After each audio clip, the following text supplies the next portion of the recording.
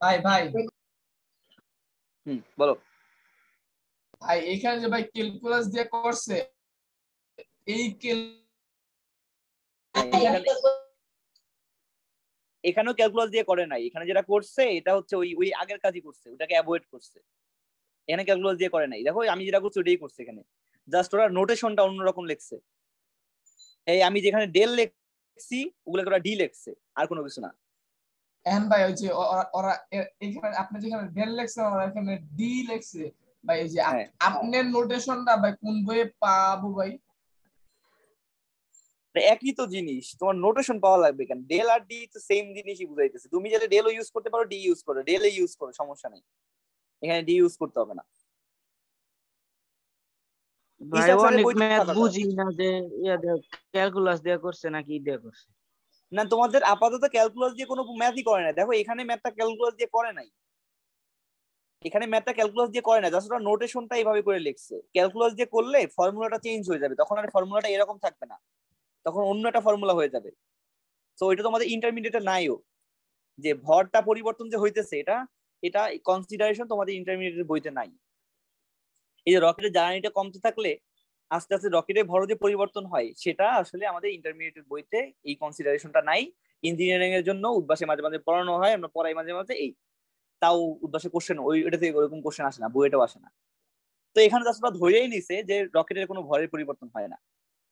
বুঝছ কি বলছি? জি ভাই। জি স্যার তার মানে স্যার এটার সাথে ওই উত্তরটা মিলবে। হ্যাঁ মিলবে না কেন? অবশ্যই মিলবে। সেম কাজই তো করছি ওরা। তাহলে এখানে দেখো এইটা আমাদের সূত্র এই এমটা হচ্ছে রকেটের ভর। তাহলে আমরা ধরেই নিচ্ছি রকেটের ভর সারা জীবন সেমই আছে। রকেটের ভর এমই থাকবে দেখলাম এই ডেলটা ডেল এম মানে কি? কতটুকু ভর মানে কতটুকু জ্বালানি পুড়ছে? ভাই ভাই ভাই। ভাই বন্ধ ভাই ভাই বন্ধ হয়ে গেছে। আচ্ছা।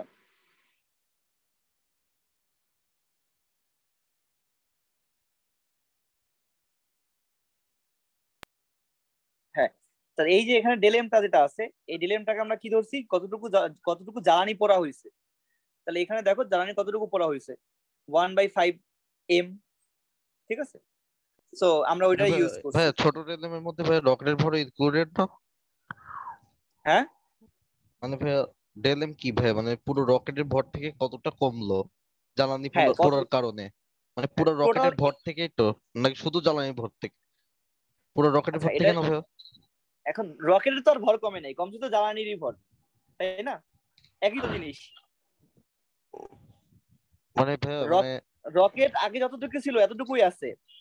আগে মনে করো জ্বালানি এতখানি ছিল জ্বালানি মনে করো একশো ছিল। এখান থেকে এখান থেকে বিশ কমা যেই কথা পুরোটা থেকেও বিশ কমা কি? সেম জিনিসটা কারণ এই পাশ থেকে তো কোথাও কমে নাই কমছে? না ভাই না কাহিনী তো একই রকম যে জ্বালানি খরচ হওয়া যেই কথা শুধুমাত্র রকেট থেকে যাওয়াটা সেম কথা কারণ রকেট থেকে অন্য কোনো কাজে ভর কমতেছে না। তাহলে এটাকে আমরা বলতেছি ভর কি পরিমাণ কমছে অথবা জ্বালানি কি পরিমাণ পড়ছে একই জিনিস। তাহলে ওইটাকে আমি এখানে লিখে দিছি।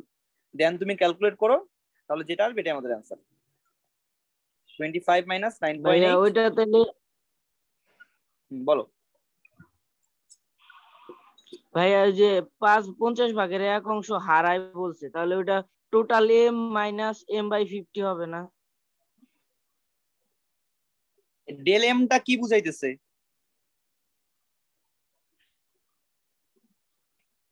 ডেল এম দিয়ে কি বুঝতেছি আমরা বলো তো? কতটুকু জ্বালানি পুড়ছে এটা না?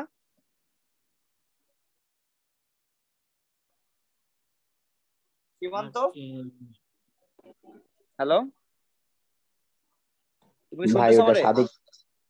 আচ্ছা সাদিক। সাদিক কি শুনতেছো? ভাই। জি ভাই ডেলেমটা শুনতেছি। কি? ডেলেমটা দিয়ে কি ইউজ বুঝতেছি? ডেলেমটা দিয়ে বুঝতেছি কতটুকু জ্বালানি পুড়ছে কতটুকু আছে সেটা না কতটুকু জ্বালানি পোড়া ও যতটুকু আচ্ছা ভর হ্যাঁ। কমছে যতটুকু ভর কমছে ততটুকু জ্বালানি পড়ছে না? হ্যাঁ হ্যাঁ হ্যাঁ। তাহলে ভর যতটুকু কমছে এতটুকু ভর কমছে। ঠিক আছে বুঝছি। আচ্ছা। তাহলে এই রকেট থেকে ম্যাথ আসে। রকেটের টাইপ থেকে ম্যাথ মোটামুটি আসবে ধরে রাখো। আচ্ছা এবার র্যাকের রকেটের পর যেটা আছে, সেটা হচ্ছে তোমাদের এই যে ওই ভরবেগের পরিবর্তন যেটা, আদি ভরবেগ, শেষ ভরবেগ, এখানে একটা ব্যাপার আছে, এখানেও সেম জিনিস, যে কোনো একটা বস্তু এই ক্রিয়া প্রতিক্রিয়া বল থেকেই আসছে, যে ধরো একটা গাড়ি আছে, আর এখান থেকে আর একটা গাড়ি আছে, এই দুইটা গাড়ি সংঘর্ষ করছে, তাহলে ওর একটা বল দিছে এফ ওয়ান সেম পরিমাণ বল ওরে দিবে এফ টু এই দুইটার কারণে তাদের ভরবেগের পরিবর্তনটা হবে। তাহলে ওখান থেকে আমরা বের করতে পারি। M one V one minus M two sorry M one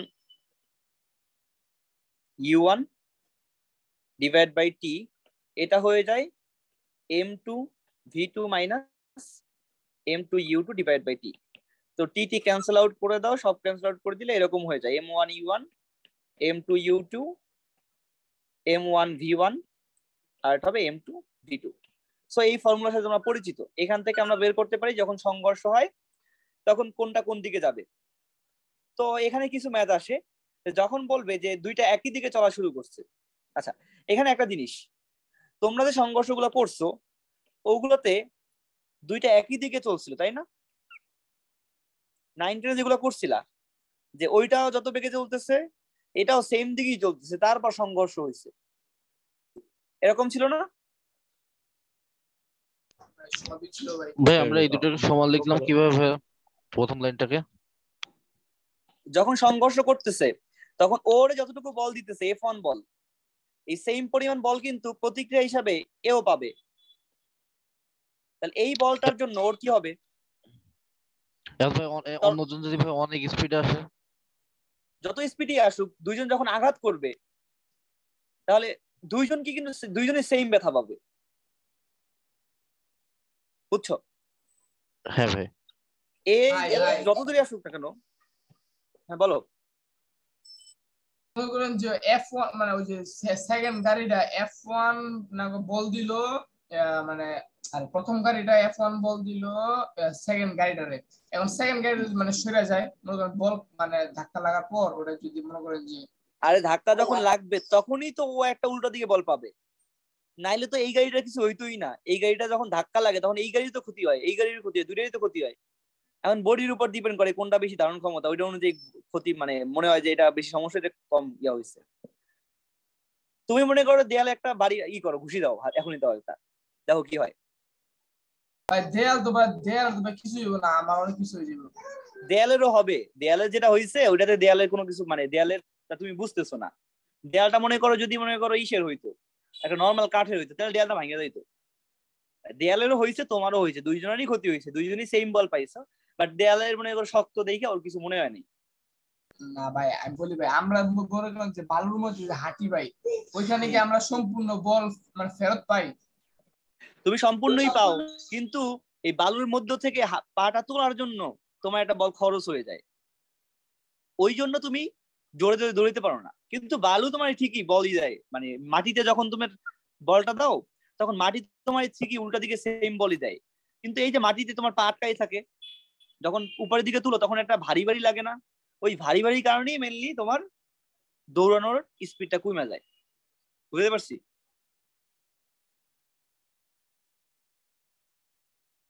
তাহলে মাটিতে হাঁটার সময় কেন না মানে ভারী ভারী লাগে না? মাটিতে তোমার পা তো বালুর মাটির মধ্যে ঢুকে যায় না ঢুকে যায়?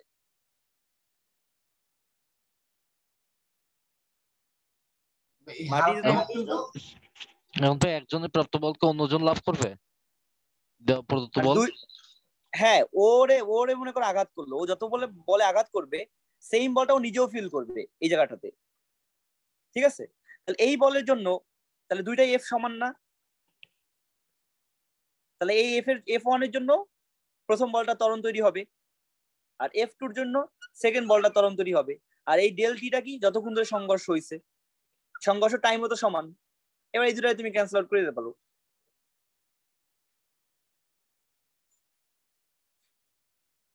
ঠিক আছে?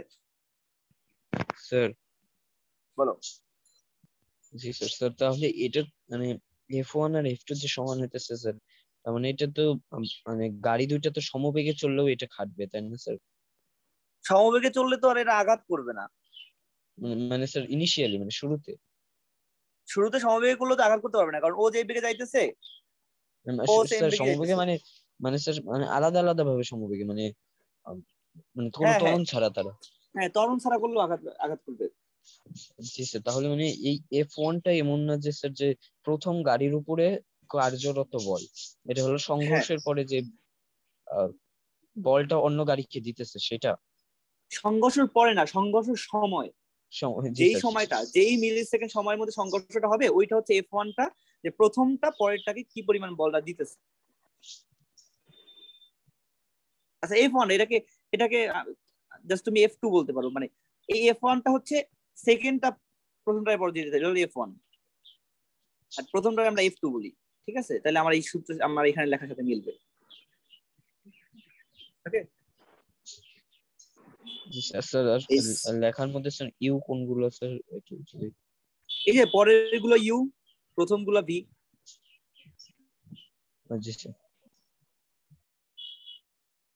তোমরা তো নাইনটিন এটা দেখছিলাম মনে হয় এই সূত্র। জি স্যার দেখেছিলাম হ্যাঁ, এখন দেখো এখন ব্যাপারটা কি ঘটে? যে যখন সংঘর্ষের পরে দুইটা যদি একই সাথে চলা শুরু করে তাহলে দুইটার বেগ কি সমান হয় না? মনে করো এদের আদি বেগ দেয়া আছে। এটার আদি বেগ দেয়া আছে ইউ টু এটা হচ্ছে ten metre per second inverse one এটার আদি বেগ দেয়া আছে ইউ ওয়ান এটা হচ্ছে আমাদের পনেরো metre per second inverse one তাহলে এক সময় সংঘর্ষ হবে। এবার বললাম সংঘর্ষের পর দুইটা কি করা শুরু করছে? একই সাথে চলা শুরু করছে। মানে একটা একটার সাথে ঘেইসা চলতেছে এরকম ভাবে তাহলে এইভাবে চলা শুরু করলে এই দুটোর বেগটা কি সমান না? তাহলে শেষ বেগ কি দুইটারই সমান? তাহলে তখন এই ভি ওয়ান আর ভি টু কি হয়ে যায়? সমান হয়ে যায়, ওইখান থেকে আমরা শেষ বেগটা বের করতে পারব। যদি একসাথে চলা শুরু করে।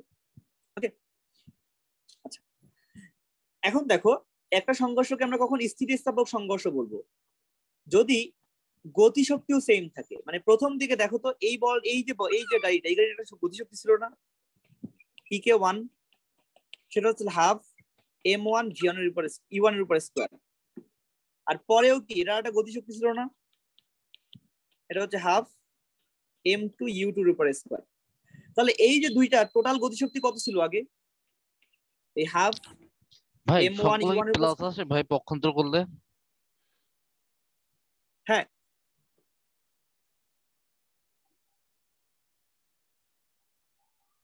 ও আচ্ছা এখানে একটা এই যে এখানে একটা মাইনাস সাইন আছে। আমি জাস্ট সাইনটা তোমার ইয়াটা করছি মানে বলটা তো উল্টো দিকে বলটা তো উল্টো দিকে কাজ করে। যেমন এই বলটা যেদিকে কাজ করতেছে না, আমি এখানে যখন লিখছি তোমার জাস্ট বোঝানোর জন্য লিখছি। দেখো এই বলটা যদি কাজ করে এই বলটা কাজ করতেছে এই দিক বরাবর আর এই বলটা কাজ করতেছে কোন দিক বরাবর? উল্টা দিক বরাবর না? হ্যাঁ ভাই। তাহলে দুইটা বল তো সমান না।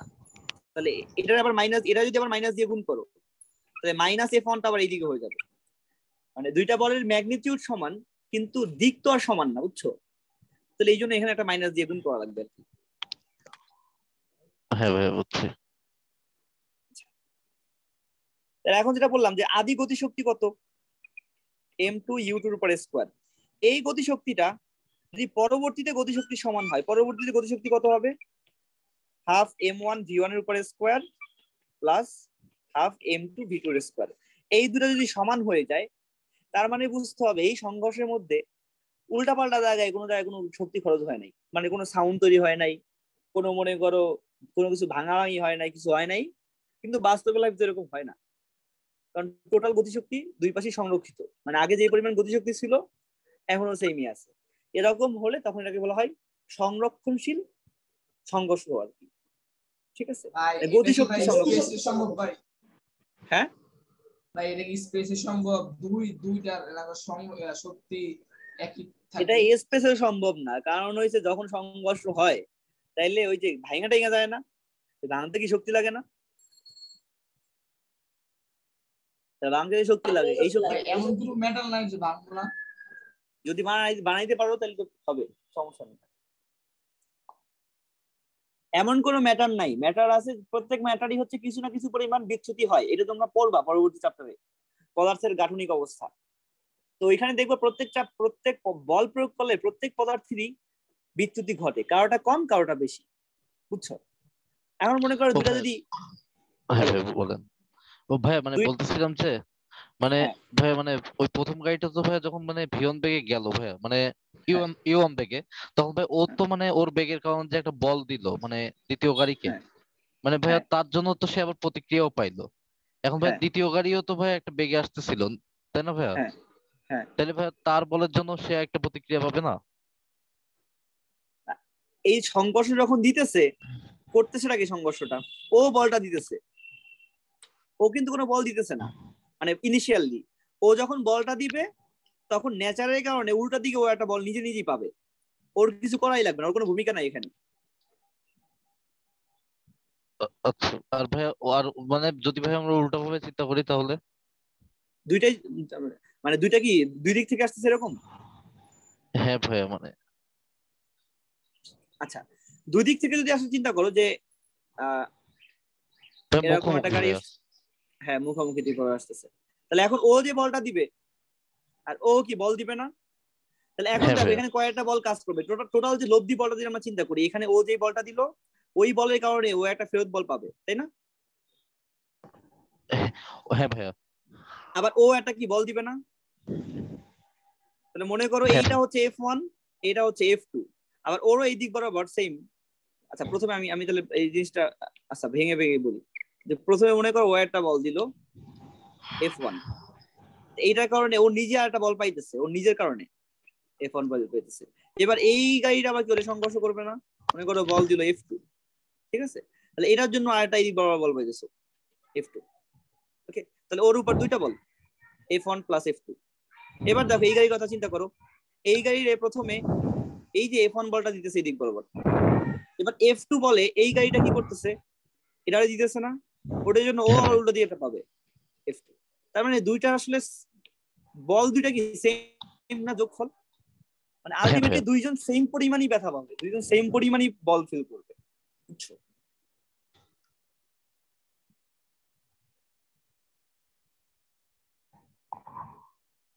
আচ্ছা এখন দেখো তাইলে।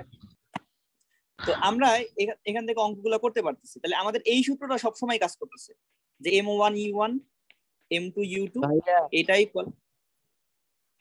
যে মুখোমুখি সংঘর্ষটা আরেকবার একটু দেন। বুঝলাম না কিছু। ভাই। তাহলে আপনি যেটা দেখেছিলেন ওইটা কি ভাই একমুখী সংঘর্ষ ছিল?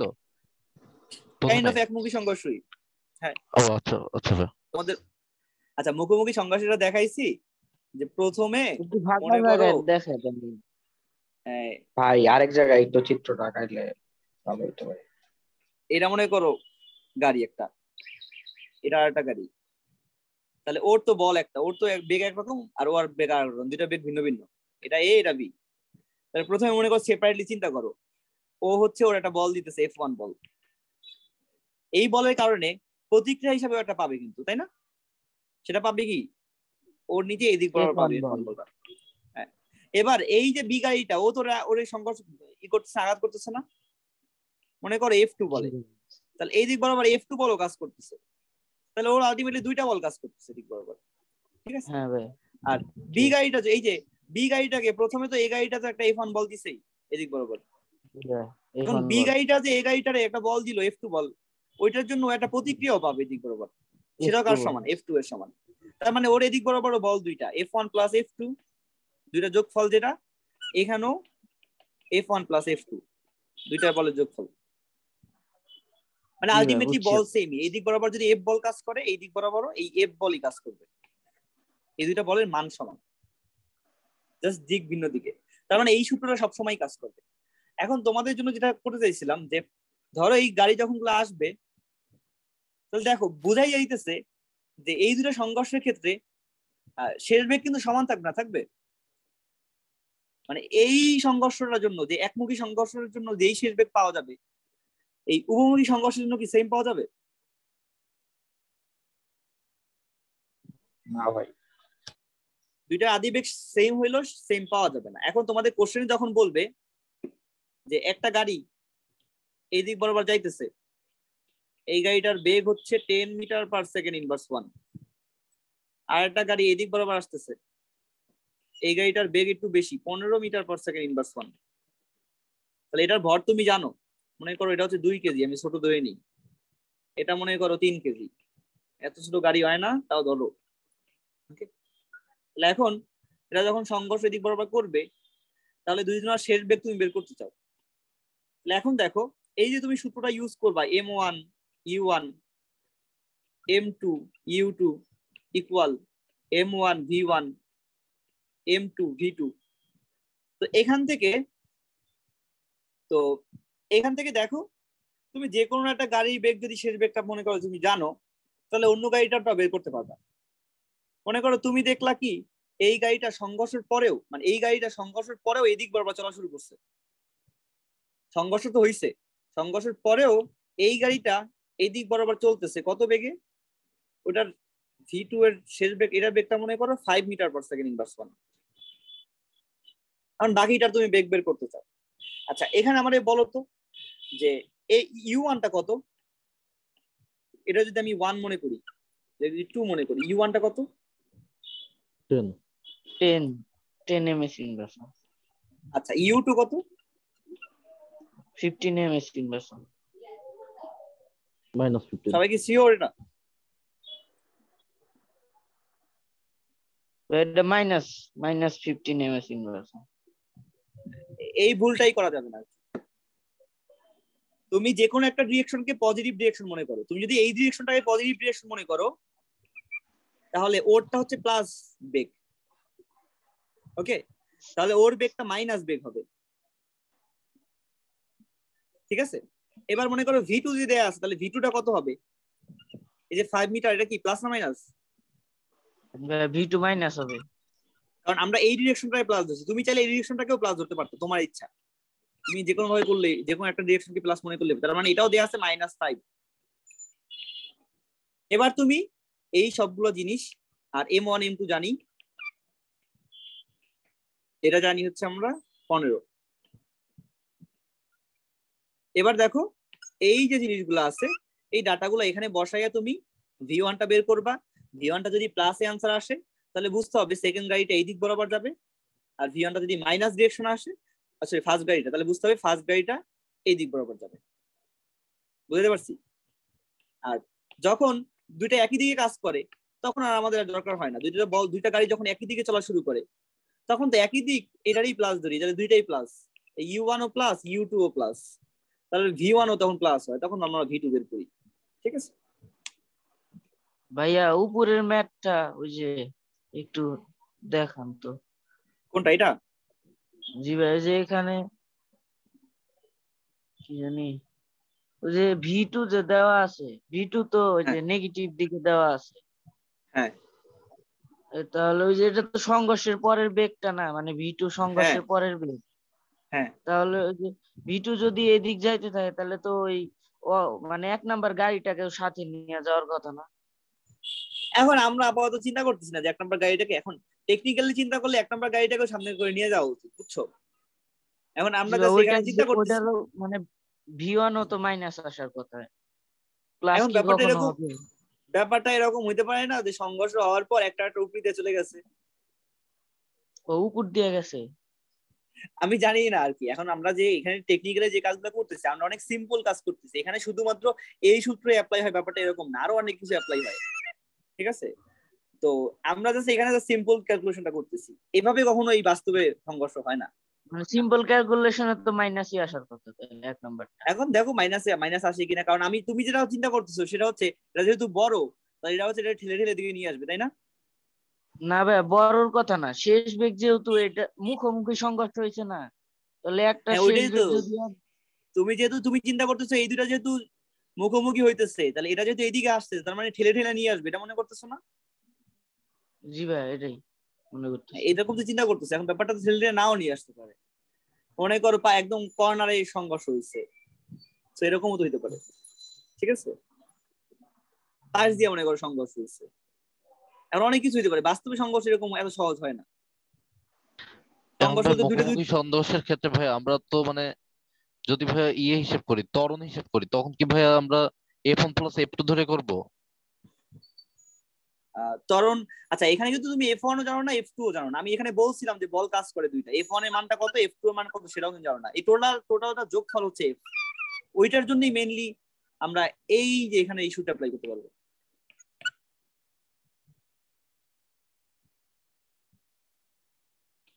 এই যে এই যে আচ্ছা। সূত্রটা এটা হচ্ছে দুটোর যোগফলের কারণে হচ্ছে মানে ভাই আপনি ওই ইনক্লুডেড করেই দিচ্ছেন মানে ওই এফ ওয়ান আর এফ টু হ্যাঁ ইভেন আমরা বলটাও জানি না এফ ওয়ান এফ টু মানটা জানি না বাট আমরা জানি এটা সমান বুঝছ? হ্যাঁ, এটা সংঘর্ষ সময় কি পরিমাণ বল কাজ করছে এটা আসলে বের করা দিতেছে না তো আমরা জানি না এটা কতটুকু বল কাজ করতেছে। আচ্ছা সবাই কি বুঝছ ব্যাপারটা? এই উল্টোর দিকে হলে প্লাস মাইনাসের এটা ইম্পর্টেন্ট এই লিজামনি আসোস হ্যাঁ আছি বুঝছি। এতক্ষণ ধরে এখন ধরে বুঝছ সব? আচ্ছা। হ্যাঁ তাহলে এবার আমরা একটা নতুন টাইপে যাব এইটা তোমাদের নাই বাট মাঝে মাঝে আসে। যে সংঘর্ষ হওয়ার সময় এই যে আমরা বললাম যে মুখোমুখি সংঘর্ষ হওয়ার সময় বাস্তব লাইফে যে সংঘর্ষগুলো হয় এগুলো তো একদম সরলরেখা বরাবর হয় না হয়? মনে করো এইটা একটা বল এটা বল। সংঘর্ষ করার পর একটা মনে করো এইদিকে ছিটে দিতে পারে আর একটা এইদিকে ছিটে দিতে পারে না?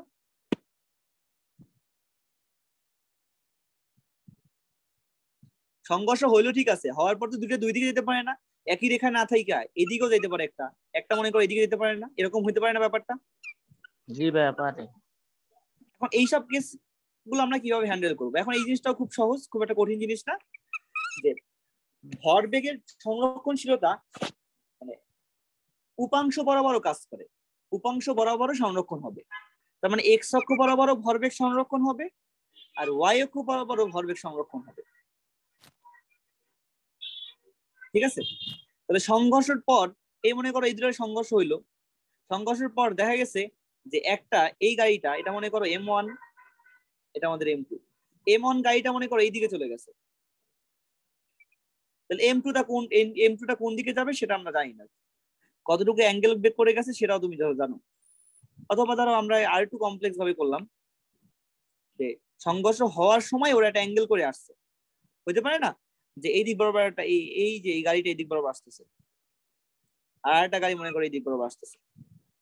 তারপর তাদের মধ্যে এই জায়গায় সংঘর্ষ হয়েছে। সংঘর্ষ হওয়ার পর মনে করো এক, এক- একটা গাড়ি এদিক বরাবর চলা শুরু করছে। তাহলে অন্য গাড়িটা কোন দিকে যাবে? তো এখানে অবশ্যই এই অ্যাঙ্গেলটা দেওয়া থাকবে যে অ্যাঙ্গেলটা কত?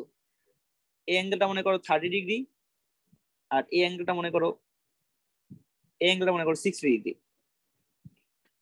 তাহলে আইসা এরা হচ্ছে এই জায়গাটা, এই পয়েন্টটাতে সংঘর্ষ করছে। সংঘর্ষ করার পর একটাও এদিকে চলে গেছে। সাপোজ এটা আমাদের এম ওয়ান এটা আমাদের এম টু এই এম টু গাড়িটা এদিকে চলে গেছে। অ্যাঙ্গেল মনে করো দশ ডিগ্রি করছে। তাহলে এম ওয়ান গাড়িটা কোন দিকে যাবে? তাহলে এখানে আমরা যে জিনিসটা কাজ করব, সেটা হচ্ছে আমরা অক্ষ বরাবর মানে উপাংশ নিব। তাহলে এক্স অক্ষ বরাবর যে বলগুলা, ওইটারও ভরবেগ সংরক্ষিত থাকবে। আর ওয়াই অক্ষ বরাবর ভরবেগ সংরক্ষিত থাকবে। তো ওখান থেকে আমরা লিখতে পারব M one U one X plus M two U two X এইটা equal M one V one X plus M two V two X তোমরা যারা জানতে চাও যে কীভাবে সংরক্ষিত থাকে, একটু নিজেরা চিন্তা করতে পারো। এটা আমি আর দেখাবো না, শুধু শুধু ক্লাস বড় হওয়ার দরকার। এটা হচ্ছে এক্স অক্ষ বরাবর, উপাংশ। আর ওয়াই অক্ষ বরাবর যে উপাংশটা, এটা আমাদের এক্স অক্ষ। ওয়াই অক্ষ বরাবর উপাংশ সেম সংরক্ষিত থাকবে। তাহলে M one U one Y M two U two Y এটা equal M one V one Y M two V two Y এটা আমাদের আরেকটা সূত্র। এখন দেখো, এই গাড়িটার এই গাড়িটার বেগ তো দেয়া আছে তোমার, আদি বেগটা তুমি জানো। এটা মনে করো দেয়া আছে twenty metre per second inverse one আর এইটার যে বেগটা, এটা ধরো দেয়া আছে thirty metre per second inverse one তাহলে এই গাড়িটার এক্স বরাবর বেগ কত? ইউ এক্স ইউ এক্সটা কত হবে? টোয়েন্টি এই অ্যাঙ্গেলটা কার সাথে? এক্স অক্ষের সাথে না? তাহলে কস থার্টি হবে না? আর যেমন মনে আসছে এগুলা ইউ ওয়ান ওয়াইটা কি হবে? ওয়াই বরাবর উপাংশ। তাহলে অ্যাঙ্গেল যেহেতু এক্স অক্ষের সাথে তাহলে এটা কি হবে? সাইন হবে। টোয়েন্টি সাইন থার্টি এবার সেম ভাবে ইউ টু এক্স ভাই এক্স সাথে মাইনাস হবে না ভাইয়া? মানে মাইনাস বিশ হবে না? যেহেতু এক্স অক্ষের নেগেটিভ দিকে। কোনটা? ইউ ওয়ান না আমি জাস্ট এখানে মানটা লিখতেছি আর কি। আচ্ছা। আমি- এখানে ক্যালকুলেশন করতেছি না। তুমি চাইলে মানটাও লেখে হ্যাঁ ক্যালকুলেশন চাইলে করতে পারো যে মাইনাস দিতে পারি। যেহেতু না, এটা তো মাইনাস হবে না। দিক তো সেমই আছে, এই দিকেই তো চলতেছে। ডিরেকশন তো সেমই প্লাসই তো হবে। এটা তো চলতেছে, দিকটা তো এই দিক বলব, আমরা দিকটা চিন্তা করতেছি। ওকে তাহলে ইউ টু এক্স এটা কত হবে? থার্টি কস সিক্সটি ঠিক আছে? এবার দেখো ইউ টু ওয়াই এটা কত হবে? থার্টি সাইন সিক্সটি এই যে সিক্সটি হচ্ছে এই অ্যাঙ্গেলটা এই অ্যাঙ্গেলটা সিক্সটি হলে তুমি যদি উপাংশ নাও তো কোনটা পাবা? এদিক বরাবর পাবা না? এখন এই ইউ টুটা মাইনাস হবে, কারণ ইউ টুটা হচ্ছে ওয়াই অক্ষের নেগেটিভ ডিরেকশন এই জন্য ইউ টুটা হবে মাইনাস ওকে আর এই যে ভি তাহলে এই যে ভি টু এক্স এটা কত হবে?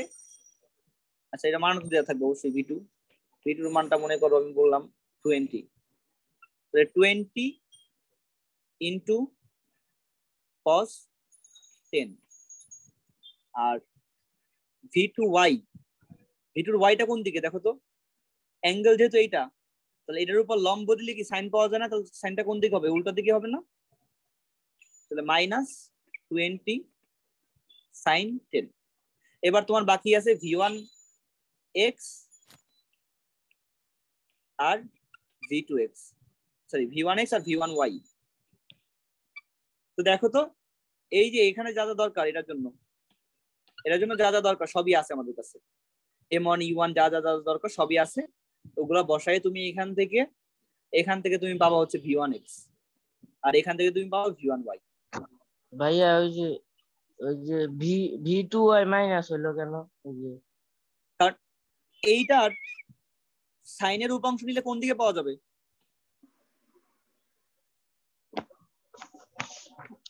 নিচের দিকে না?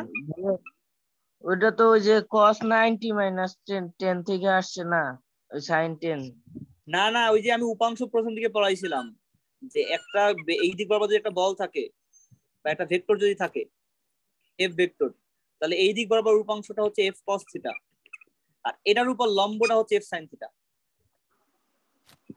অনেক আগে পড়াইছিলাম উপাংশ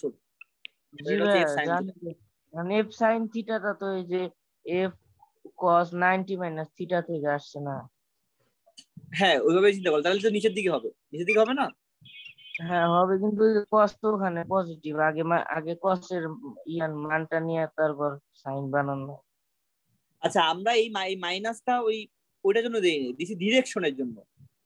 আমরা তো ওয়াই ডিরেকশনটা পজিটিভ ডিরেকশন মনে করতেছি আর এটাকে এই দিক বরাবর পজিটিভ মনে করতেছি। এটা তো উল্টার দিকে এই জন্য এটাকে মাইনাস দিছি ঠিক আছে? আচ্ছা এবার তুমি। ভিএক্স ভিএক্স পাইতেছো ভিওয়াই পাইতেছো ভি ওয়ানের। তাহলে ভিটা ভি ওয়াই ভি ওয়ানটা কত হবে? সেটা হবে রুট ওভার ভি ওয়ান এক্সের উপর স্কোয়ার আর ভি ওয়ান ওয়াই এর উপর স্কোয়ার এটা মনে করো এই দিকে যাবে সামথিং এরকম। তাহলে এই অ্যাঙ্গেলটা যদি বের করতে চাও সেটাও সেম ভাবে বের করবা। যে tan theta equal V one Y by V one X এখান থেকে কত অ্যাঙ্গেলে যাবে সেটাও তুমি বের করতে পারবা। যে এক্স অক্ষের সাথে কতটুকু অ্যাঙ্গেলে ওই এক নম্বর গাড়িটা চলে যাবে। আচ্ছা এরা চাইলে তোমরা স্কিপ করতে পারো যদি কারও কঠিন মনে হয়। ভাই ভাইয়া ইউ টু ভাইয়া ইউ ওয়ান ওয়াই ভাইয়া এইটা ভাইয়া নিচের দিকে হইল না কেন ভাইয়া? মানে মাইনাস হইল না কেন? ইউ ওয়ান ওয়াই ভাইয়া। মানে এইটা এটা এটা মানে ভাই বিশ সাঁত্রিশ ভাই মানে এই বলটা ভাই নিচের দিকে না ভাইয়া? এটা এটা এটা আচ্ছা আচ্ছা বল দেখো অ্যাঙ্গেল এই যে এক্স অক্ষের সাথে যদি অ্যাঙ্গেল থাকে তাহলে সাইন নিলে পাই কি? এটার উপর লম্ব এটার উপর লম্ব কোন দিকে? এইদিকে না? কারণ বলটা তো এটা তাহলে ভাইয়া আমরা ইউ ওয়ান এক্স কে ভাইয়া পজিটিভ বললাম যে ভাইয়া। ইউয়ান এক্সের ডিরেকশনটা তো এই দিক বরাবর। এইদিকে ডিরেকশন না। মানে তুমি যখন এটারে উপাংশ নিতেছো ডিরেকশনটা কিন্তু এই দিক বরাবর থাকতেছে। হ্যাঁ। পজিটিভ ডিরেকশন হ্যাঁ ভাইয়া। আর ভাইয়া তাহলে ওয়াই ডিরেকশনটা আচ্ছা আচ্ছা wait wait wait wait wait wait তুমি তাহলে মানে ঠিক আছে ওয়েট এটা তো